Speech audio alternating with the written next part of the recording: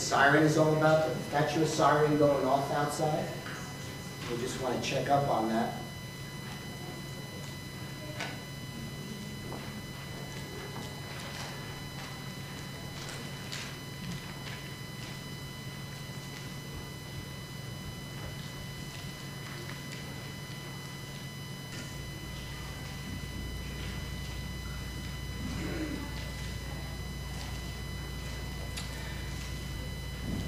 So I was asking the Lord on subject that we would just share with together this morning, and um, the Holy Spirit just keeps taking me back to the prophetic.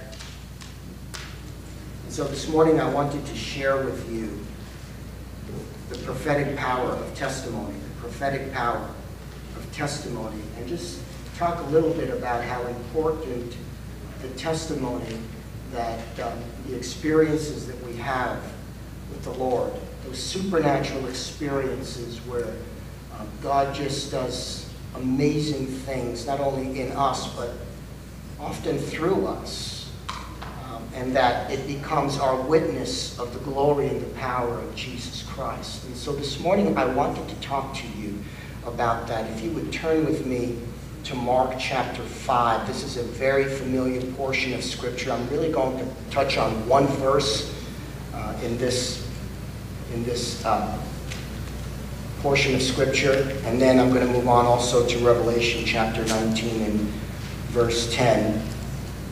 Incidentally, if you want to follow along with us in the notes, we post them up on our Facebook. If you go to, uh, to our Living Faith Christian Assembly Nutley Facebook. You'll find all of the notes there for this morning's sermon, and you can just follow along with us. Those also serve as a help for you if you want to go back uh, during the week and maybe just um, go over the service. We tape the entire service. First of all, it's broadcast live here, but we also have it uh, where you can go back during the week. You can pull up your notes and uh, maybe there are just some things that the Lord wants to refresh, some things that we may have missed along the way. But if you uh, would read along with me now in Mark chapter 5 and verse, starting with verse 15. Then they came to Jesus and saw the one who had been demon possessed and had the legion sitting and clothed in his right mind. And they were afraid. And those who saw it told them how it happened to him who had been demon possessed and about the swine. Then they began to plead with him, Jesus, to depart from their region. Could you imagine that? Asking Jesus to leave? Lord, we really don't want you here. We're intimidated by your power. So we're going to ask you to leave. Wow. And you know what I find about Jesus here is he doesn't argue with them.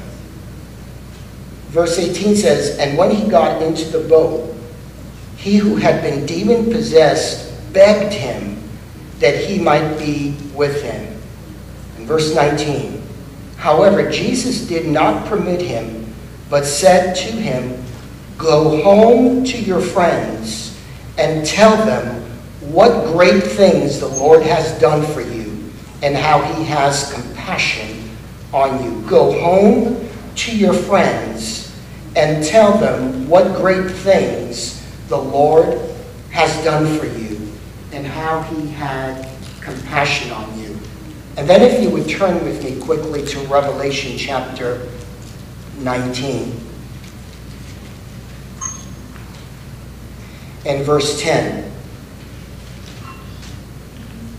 Here, the angel of the Lord is giving John a tour, not only of heaven, but also giving him a glimpse of things to come in the age in which the Lord will return.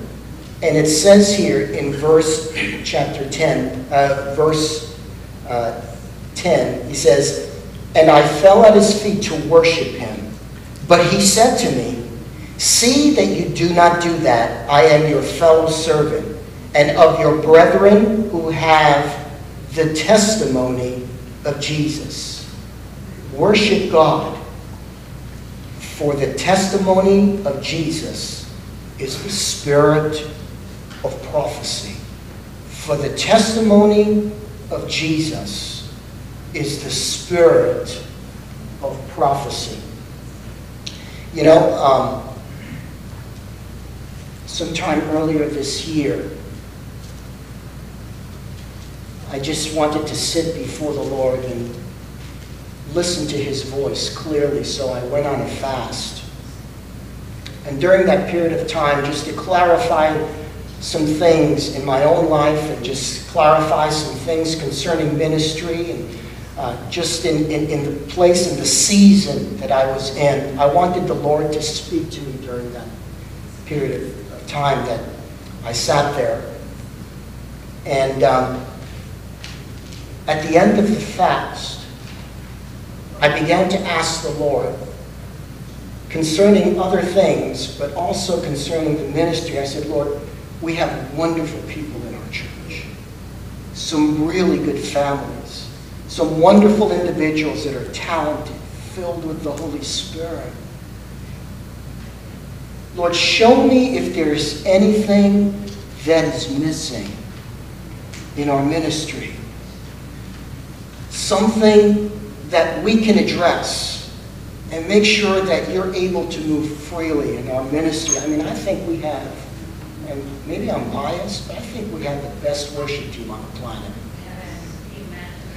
I mean, young men and women that are just going hard after God. And um, when we just join in with them, I, I just feel the presence of the Lord in this place. And as I was reminiscing on that, I was kind of thinking to myself, well, what possibly could be, you know, what could the Lord actually, you know, bring to mind? Something like this. And I kept hearing the voice of the Lord say this. You're missing testimony. You're missing testimony. And I'm not talking about just testimony time. You're missing the proclamation of witness of what I'm doing. And as I began to hear the voice of the Lord speak to me, I began to actually research. You know, today with Google, you can Google anything, right? And I began to just research some amazing stories, some things that God had done in some, some churches and ministries along the way, not necessarily even in the States, but somewhere the Lord is doing, and there were just too many, but I just wanted to share a couple of them with you if I could this morning. This testimony is of a little boy who got healed one night at a regional renewal meeting in one of the towns in Northern California coast. At that time, he was three years old and had fairly severe club feet. Does everybody know what a club feet is? Club feet is when one foot is shorter than the other. Anybody see people like that, where one foot is longer and the other foot is shorter? For whatever reason, that other foot just didn't grow all the way out. And so this little boy who was three years old had, these club, had this club foot. And the Bible, there was a Bible school professor that was preaching at the conference and had brought with him his students from the School of Ministry to the meeting. And so they began to pray for this little boy after the message. When they set him on the ground, his feet were perfectly flat for the first time. Another little boy that was his friend came over and said to him, Run! And this little boy began to run all over the sanctuary. Two feet were flat on the ground for the first time in his life. The next day, these students from the School of Ministry, still fired up about the miracles in the little boy, went down to the local mall and looked for, the, and looked for people to show God's love with prayer. A couple of them noticed an older woman walking with a leg brace and a cane and decided she was a good candidate for prayer. You think? They approached her and asked her if they could pray for her, and she told them flatly no. But the students persisted, I love that, and, and explained that they had just seen a little boy healed of club feet. After they shared their testimony and with much persistence, the woman had a change of heart and said that they could pray for her. They first prayed for her knee, which had a tumor on it. As they began to pray, the tumor disappeared, so the woman removed her brace.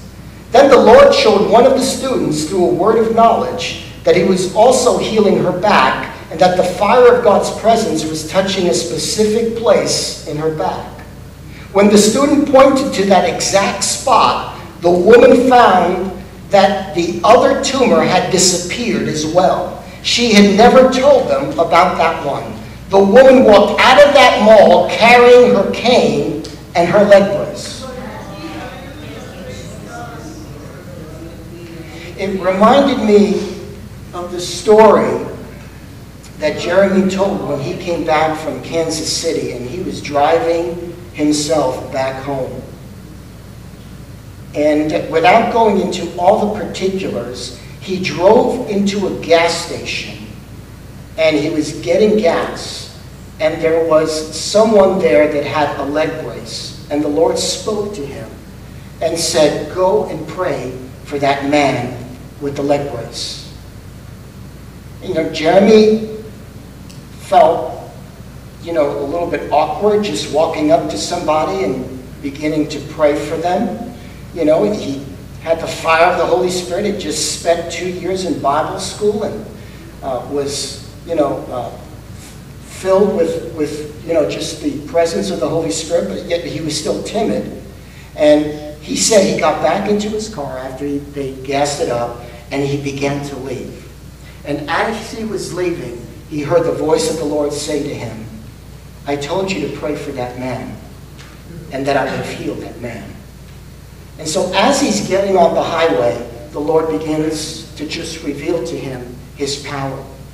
And Jeremy just begins to just break down in the car. He, was, he began to break down to the point where as the Holy Spirit is, is, is speaking to him, he forgets what speed limit he's going and the cop pulls him over and gives him a ticket, a speeding ticket on the way home. And Jeremy is saying to himself, oh no, now God is punishing me for not praying for this guy. So he gets in the car, and that's it, and he goes off. And as he's going down the road, I guess, you know, he's still emotional, so he forgets the speed limit, and another cop pulls him over. He gets a second ticket.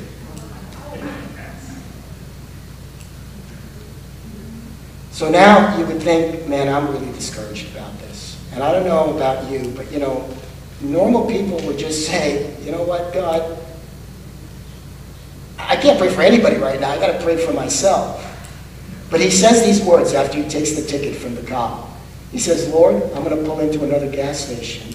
If there's somebody there with a brace on their knee, I'm going to get out of my car and begin to pray for them. And so he pulls into this gas station, and um, he's just kind of waiting around because he's already gassed up from the last one, although he probably went through half a tank of gas with the tickets that he got. But um, he gets in and he's just waiting around and he's saying to himself, Good. This is just something that I'm going to be able to just move on and that'll be it. It'll be an experience. And just as he's about to get back into the car, out from the quick bar walks out this guy that's in a wheelchair. How many of us know the Holy Spirit takes it a step higher? And he goes over and so the, the, the uh, Jeremy says, you know, Lord, I promised you, so I'm going to do this. And he goes over to the man. And he says, can I pray for you? And uh, I said, sure. And as he began to pray, this guy gets up out of his chair and takes the brace that he had off on his knee. And he begins to run up and down the gas station.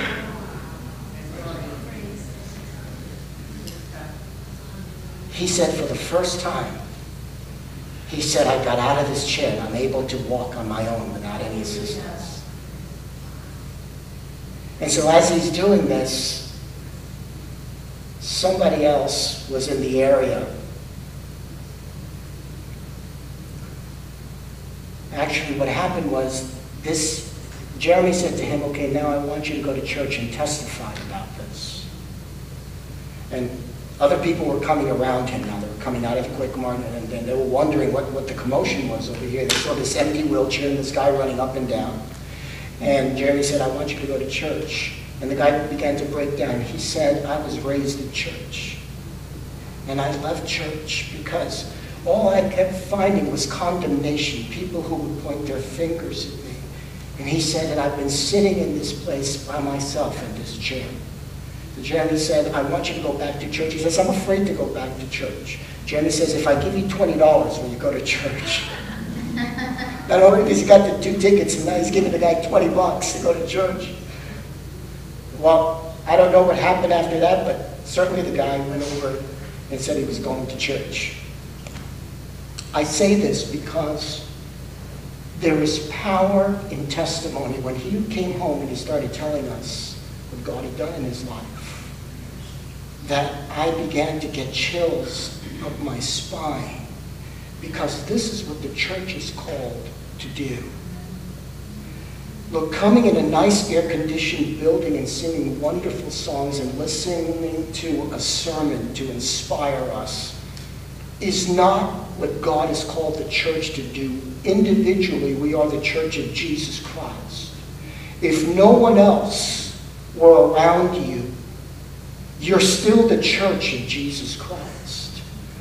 And so as I began to just reminisce on these things about how the Lord had worked in, in these other lives, and even through the life of my own son, I began to reminisce on my own life, how the Lord spared me on September 11th through that catastrophic terroristic attack. I began to uh, uh, reminisce how the Lord healed my left eye at a, at a conference uh, a few years back. Joe was there along with Jeremy, where uh, I had gone the year before to the same conference, and they have a time in the middle of the service where they pray for the sick, and just as they were praying for the sick, somebody said, There is somebody here that has an eye condition. The Lord wants to heal you. And I felt in my spirit that that was me. So I went up and I got prayed for. All the leaders were around me. They prayed for me. And I have to say that when they finished praying, they told me to look around. Nothing had changed. I was still as blurry as I always had been. And I was discouraged about it but I went home that day for an entire year. I would not bring myself to say that God had not healed me. I would just tell people, I just see the same, I don't see any, any difference. That next year I went, it was a day, it was a year to the day, to the same day, in that same Saturday night service that they were praying for the sick, and as they were praying for the sick, I just put my left hand over my left eye. I had keratoconus, by way. It's a disease of the cornea that only gets rectified with a corneal transplant, and even those that have it don't normally see 100%. You'll have to wear these special glasses for the rest of your life. And I have keratoconus in my left eye, and I put my hand over the eye. I said, Lord, look, I, I just believe it. I don't know what to say. I'm not going up there to pray again. I'm right here. You're right here with me. And if this is your word to me, I expect to hear, uh, or expect to see. Well, I take my hand away from my eye, and for the first time in years, I saw absolutely clearly out of my left eye. So, you know, I put my hand over my right eye to make sure that, you know, I wasn't cheating in any way. And I began to look around. And um, now, for those of you who don't know me, I'm vain. I like to carry a Bible with me that has words that are like microscopic. So, like, you know, I, I don't like those Bibles with the big words because I'm, I'm, you know, I'm just, that's the way I am. So I, I carry this Bible with me and I couldn't read it, but I would carry it along with me to the conferences. That I had my Bible with me and I put my hand over my right eye and with my left eye I opened up this Bible and I just began to read chapter after chapter after chapter after chapter with my left eye that I couldn't see before. The Lord had absolutely healed me that day. And I began to look at that. And then I began to reminisce about how the Lord in this place, in this ministry, had healed people that were here. Remember Gloria? How many of us remember Gloria? Gloria was diagnosed with lupus. Lupus is an incurable disease. They'll give you medication to help you sustain yourself through it. But Gloria came up after one service and she began to just pray with us. My wife and I were praying for her. And as we were praying for her, after she finished, she got up and she said, Pastor, I feel the Lord did something. And I said, Amen, I'm going to believe that with you. That week, she went back to her doctor, the same doctor that took the blood test. And she said to him, I want another blood test. I believe the Lord healed me. And you know how the doctors are. Come on. These tests are always right. You're wasting your time. No, no, no, doctor, I want another test. I believe the Lord has healed me. Well, she persisted. The doctor gave her another blood test, and he came out with his face was white. He said, I don't see any traces. Uh, Julio, is that right? I don't see any traces of lupus in your body. An absolute miracle, an absolute. And, and she stood here and she proclaimed that, what God had done in her life, and it lifts up the church. And then also, I remember when uh, young, uh, when, when, when Isabel had, was expecting the baby, little Geraldine, and the doctors, I don't remember all the particulars, but the doctors had told her there was something wrong with the baby, right? There was something wrong with the baby. Was it the fact that the baby wasn't moving? They couldn't get, uh, they couldn't get a heartbeat. They thought that the baby was dead. Um, and uh, I, I remember Victor, her husband, Julio's brother. I tell you what, God works in the Guerrero family. Yeah. And so he began, you know, he just stood on the word of the Lord and he said, I'm going to pray over this child, over my wife, and we are not going to abort this baby. And so they went through the pregnancy, and, and the doctors the entire time were telling you, you got to abort because the, the mother's life is in, is in jeopardy here. Well, you know what? Today, little Geraldine is running all over the place. She's not so little anymore. When I saw her the last time, she's growing up to be a young little lady. And um, what the doctors had proclaimed over her, the Lord's voice was greater than that. Why do I tell you these things? I got an entire sermon I didn't get into. I'm telling you these things because the power of the Lord is real. And it's up to us as children of God to believe what God is saying, even when it comes in the face of all adversity. And all the other voices are telling us to do something else and to bow to the other voices.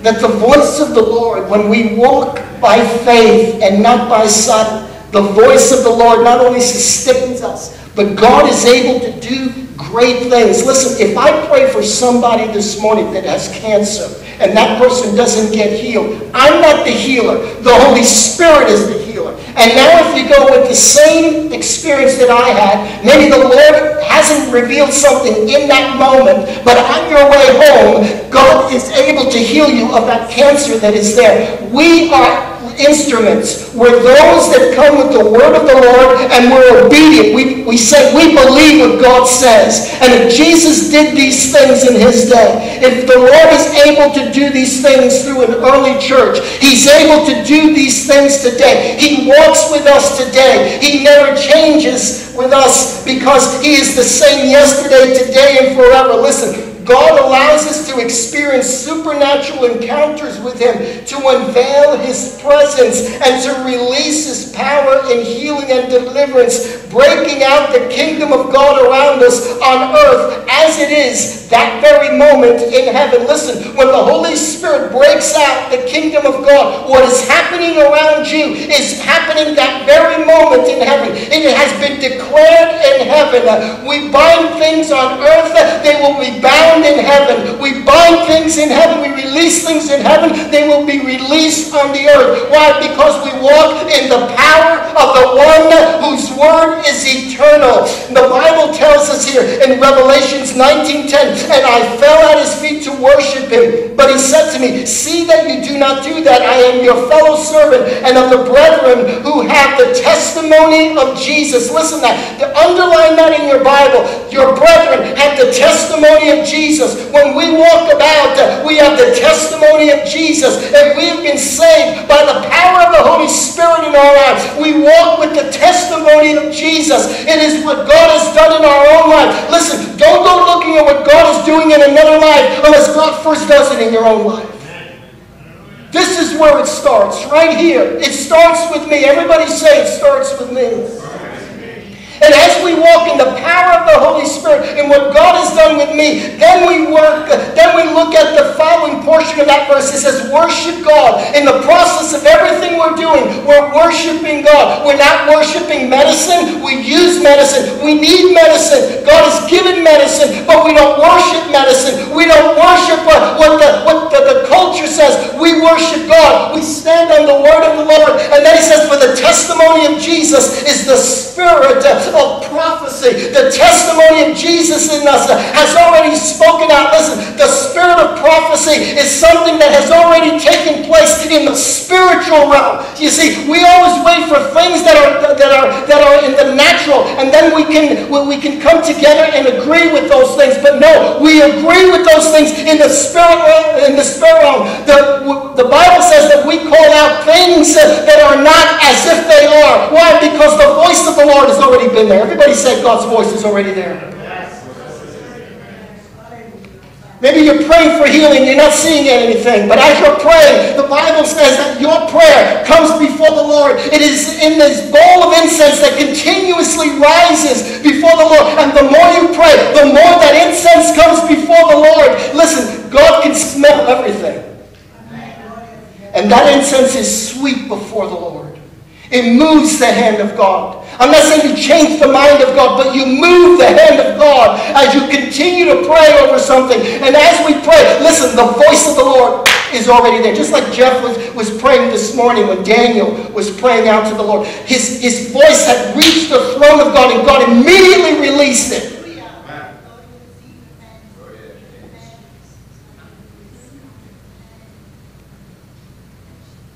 Testimony and prophecy have always been an important elements of the of the Christian life. And in the context of, the, of Revelation 19.10, they are, they are unified, they are united in declaring the truth of the gospel and the power of the Holy Spirit to reveal what? The glory of Jesus. Jesus said in Matthew chapter 28 and verse 18, he says, all authority has been given to me in heaven and on earth. And then he said in Mark chapter 16 and verse 15 to kind of follow up with that, he says, and he said to them, go into all the world and preach the gospel to every creature. Listen, He's given us His authority, He's given us His power. When the Holy Spirit comes and He rests upon you, He rests upon me. He's giving us the same authority that He gave Jesus.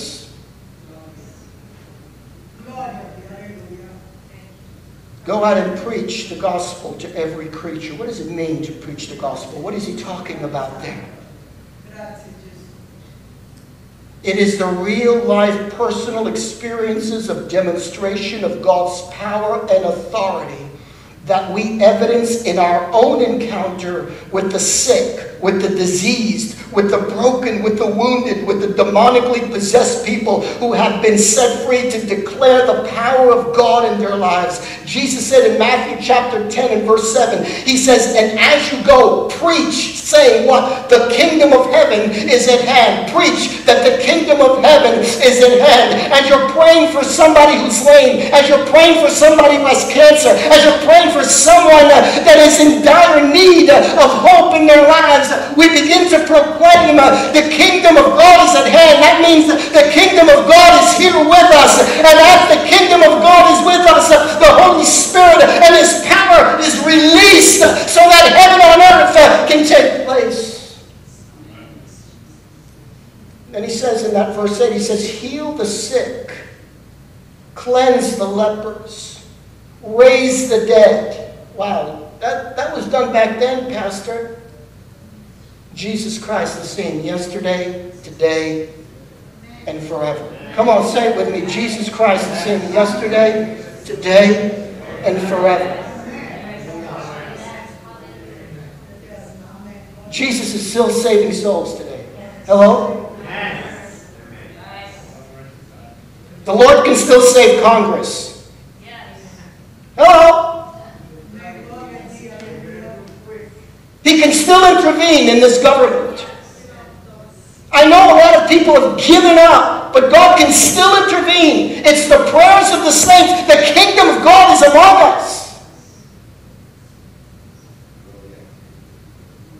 Freely you've received, freely give. God gives us heaven on earth encounters, whether they be for our need or to use as instrument for us to be used as instruments to reveal his healing or restoration of relationships in marriage and family dynamics or deliverance of demonic attacks or supernatural provisions for finances. Listen, all these things as we're praying by the power of the Holy Spirit and we declare the kingdom of God is at hand. The kingdom of God is around me. The kingdom of God is before me. The kingdom of God is powerful. The kingdom of God has released the power through me. And I declare the word of the Lord over myself, over my house, over my relationships, over my finances. I declare the, the, the word of the Lord over myself, over my body. I declare the, the word of the Lord over my mind. Come on. We have got too many people that go to church that are suffering in their mind. They're being attacked in the mind. And what we declare is that the Spirit of the Lord is greater than all the other voices that come against us. Hallelujah. Hallelujah.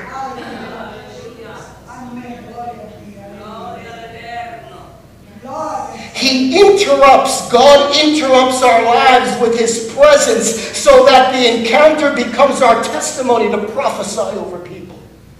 God's not giving us an encounter with Him so we can put it in the corner. You know, oh, that's private. Can I share this, Jeff? When we, when we were talking a little bit inside, uh, Jeff was saying, you know, can I pray for, you know, such and such a person? And I said, yes, as the Lord is bringing them to your mind, just, just pray for them. Nothing is a secret before God. Somebody say amen. amen. Look, if I'm in the middle of the water and I'm drowning, I'm not going to keep it a secret. I'm yelling as loud as I can, and I want a lot of people to hear me.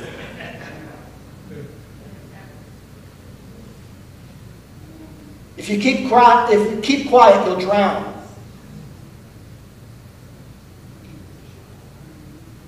That was a powerful prayer this morning, my brother. I was ministered to that. Prophecy either foretells the future or causes a change in the present. Prophecy either foretells the future or it causes a change in the present.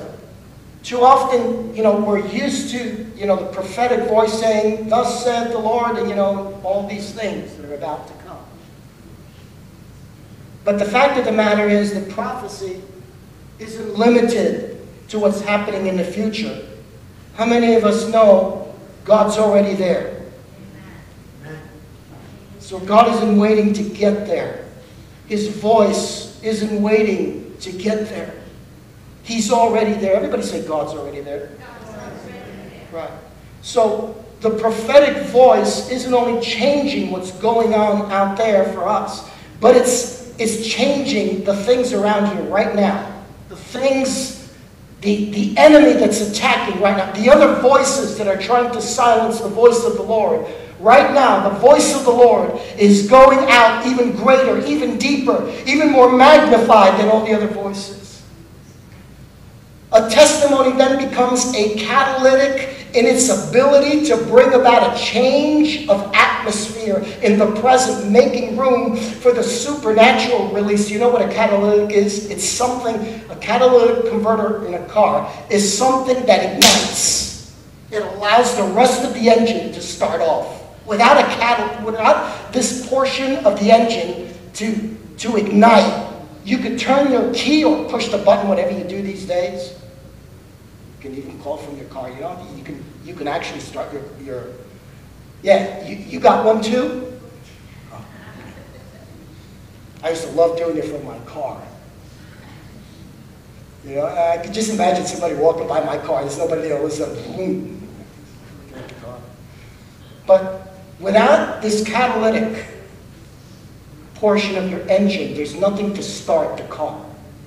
Well, this is what our testimony becomes the catalyst that starts the power of the Holy Spirit to spread out. Because what God did in your life, He can do in my life.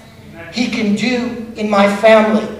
He can do in my workplace. He can do in my worship. He can do in my body. what God has done for you. And so what we're actually declaring is God does this. Everybody say, God does this. That's what we're doing. When we declare through testimony what God has done through us, we declare God is still doing this.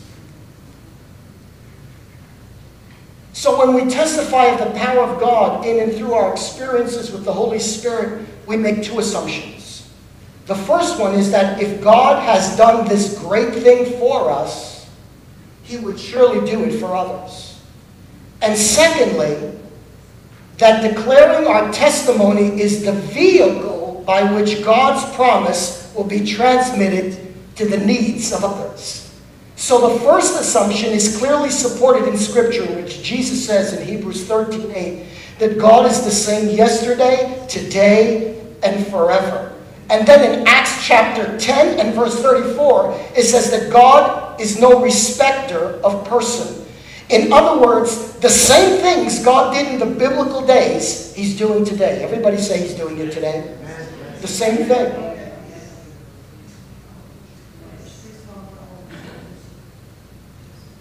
We need to allow Him to do it.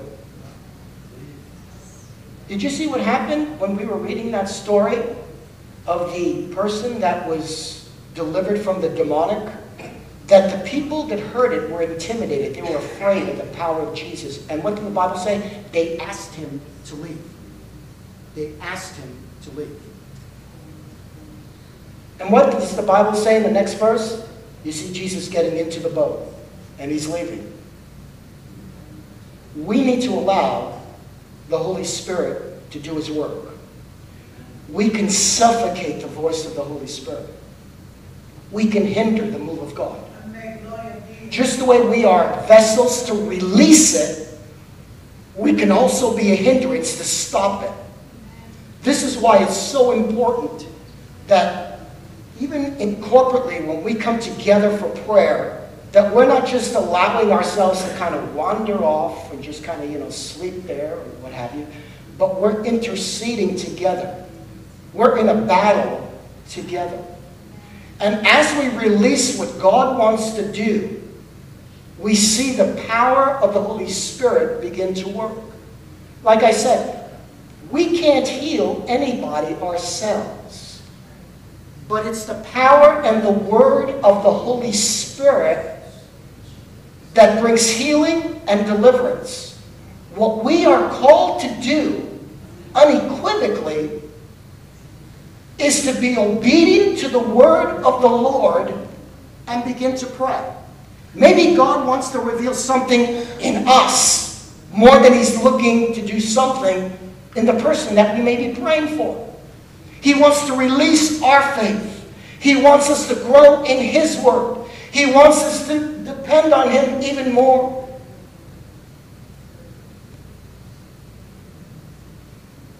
In other words, the same things that God did, He's able to do. He's doing them through, this, through, the same type of people that He did in the biblical days. Those who are simply believing that God is and He is the rewarder of those that diligently seek Him. Hebrews 11 6. That as we diligently seek the will of God, that the Holy Spirit is able to move through us.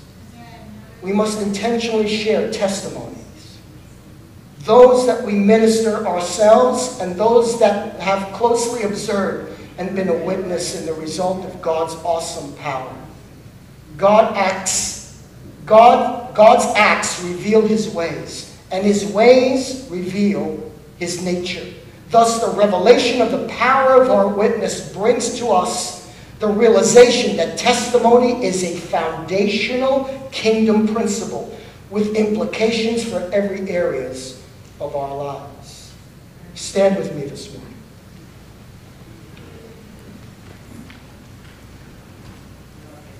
Our capacity to remember what God has said and done in our lives and throughout history, the testimony is one of the primary things that determine our success or failure in sustaining a kingdom lifestyle of power for miracles. I'm going to share one more testimony with you.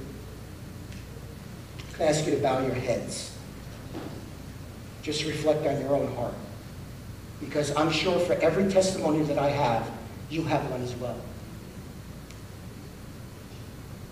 I was 11 years old.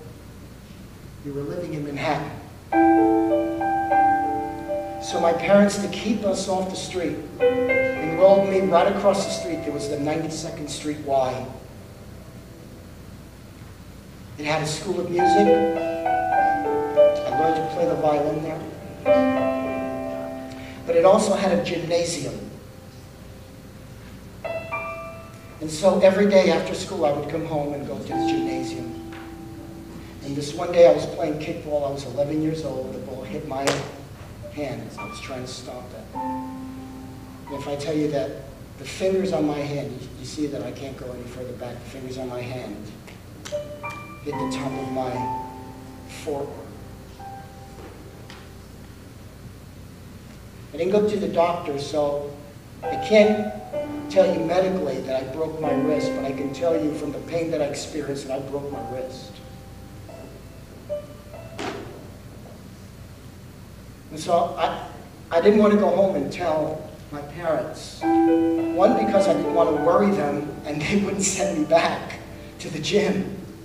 But secondly, I was afraid of getting toto.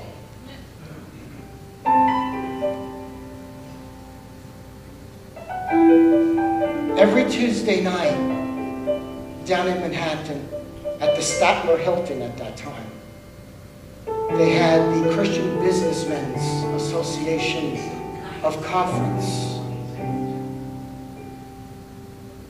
Come on, everybody, just pay attention here, right here, right here.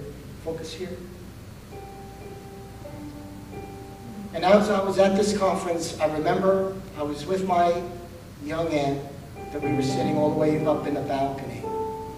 And I was in throbbing pain. I did not want to go to this this meeting. It happened every Tuesday night. I said, you know, I'll go next Tuesday night, but my aunt was persistent. I wrapped up my my arm to the best that I could inside, and then I put a long sleeve shirt on so nobody could see me. And I was in pain the entire time of the service. That time during the service, they had prayer for healing. And as they were, as they were praying, that they had a group of people that had club feet. We just spoke about club feet, one foot shorter than the other. And they had a, a group of chairs lined up on the, on the pulpit. And they were going to pray that these people, their feet would come together again. And so they said for everybody to pray as they began to pray over these people. And you know how I'm praying? Well, I can't use this hand, but I had this hand free. So I was praying like this because I wanted to see the miracle happen. You know, as they prayed for each one individually with my own eyes. Back then I didn't have character cookies. But with my own eyes, I saw one foot after the other, right down the line. Just grow right out. And then after he had finished praying, came to the mic and he said, There is a young man in the balcony. You have a wrist problem. Right now, the Lord is healing you. Hallelujah. Praise God. Gloria to Him. There were 2,000 people in that room. God saw me. The moment he said that without hesitation, there was a heat stroke that went from the top of my shoulder and ran right down like fire down into the tip of my fingers, right through my wrist. Immediately, the pain left. You know how sometimes you're just afraid to test something out because you don't want to prove something wrong? Not me. I started going like this. 11 years old. I was going like this. I wanted to test it out. I wanted to make sure that he spoke. I tell you this this morning because God wants to do something in your life. Because the next time you're in ShopRite, Stop and Shop, wherever it is that you go, and you see somebody in a wheelchair, you see somebody that has a brace, that you obey the voice of the Lord and you begin to pray. You're not supposed to heal them. The Holy Spirit is supposed to heal. We're supposed to be obedient, and then when it happens, I want you to come back here and I want you to, to declare what God has done.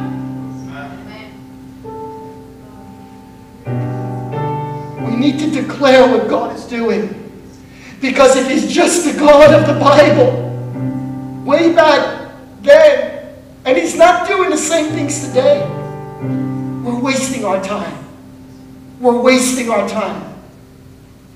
If God doesn't baptize with the Holy Spirit today, like He did back then, we're wasting our time. If God's not healing, if God's not raising from the dead,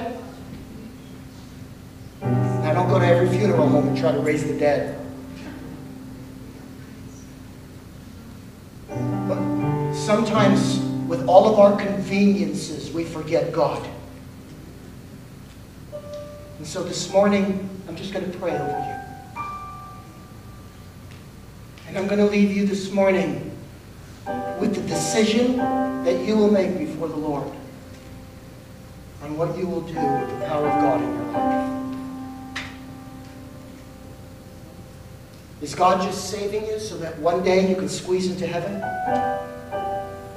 Or did God save you to declare the glory of God? Go and preach the gospel to every creature. Father, I just pray this morning for each and every one of us, Lord, young and old. You're not a respecter of persons. You don't ask us our age when you come to us. Ask us if we believe what you're saying, that you are God. So, Father, I pray this morning, release over us fresh oil.